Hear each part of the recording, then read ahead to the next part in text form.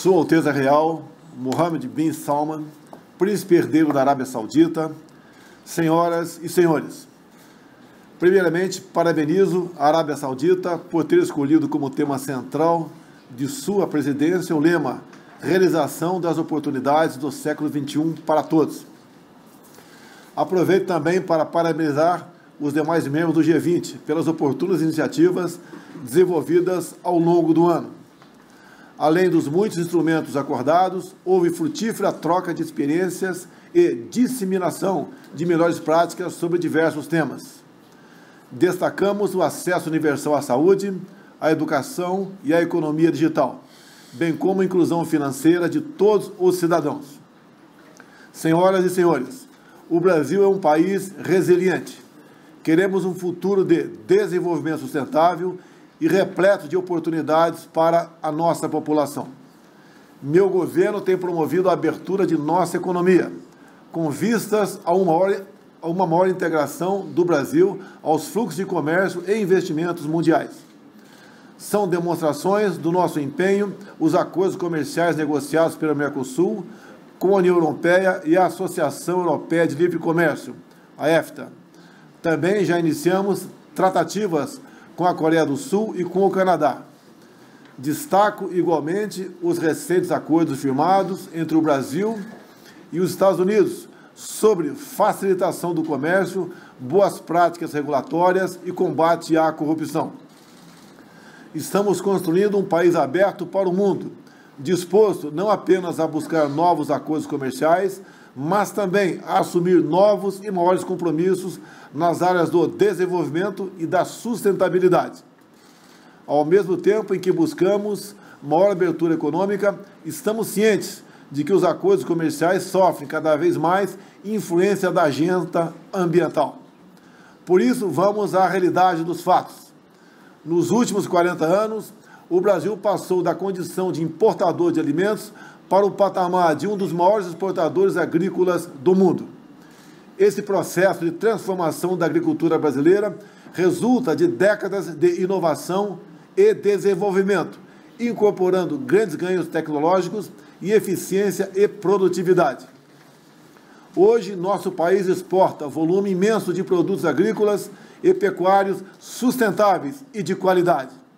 Alimentamos quase um bilhão e meio de pessoas e garantimos a segurança alimentar de diversos países. Ressalto que essa verdadeira revolução agrícola no Brasil foi realizada utilizando apenas 8% de nossas terras para a agricultura e 19% para a pecuária. Por isso, cerca de 66% de nosso território se encontra preservado com vegetação nativa. Tenho orgulho de apresentar esses números e reafirmar que trabalharemos sempre para manter esse elevado nível de preservação, bem como repelir ataques injustificados proferidos por nações menos competitivas e menos sustentáveis. Durante os desafiadores meses da pandemia, nossa agropecuária se manteve ativa e crescentemente produtiva. Honramos todos os nossos contratos. Para promover o desenvolvimento sustentável, reconhecemos a contribuição do conceito de economia circular de baixa emissão de carbono, baseada nos quatro R's: reduzir, reutilizar, reciclar e remover. Entendemos que esforço deve ser concentrado no primeiro R, que é redução das emissões de carbono no cenário mundial, somos responsáveis por menos de 3% da emissão de carbono, mesmo sendo uma das 10 maiores economias do mundo. Por isso, também, nesse aspecto, mais uma vez, tenho orgulho de dizer que o Brasil possui a matriz energética mais limpa entre os países integrantes do G20.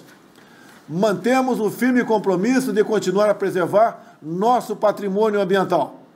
Também mantemos a determinação de buscar o desenvolvimento sustentável em sua plenitude, de forma a integrar a conservação ambiental à prosperidade econômica e social. O que apresento aqui são fatos e não narrativas. são dados concretos e não frases demagógicas que rebaixam o debate público e, no limite, ferem a própria causa que fingem apoiar. O hino nacional de meu país diz que o Brasil é gigante pela própria natureza. Estejam certos de que nada mudará isso. Vamos continuar protegendo nossa Amazônia, nosso Pantanal e todos os nossos biomas. Contem com o meu país e com o meu povo para tornar o mundo realmente mais desenvolvido e mais sustentável. Muito obrigado a todos.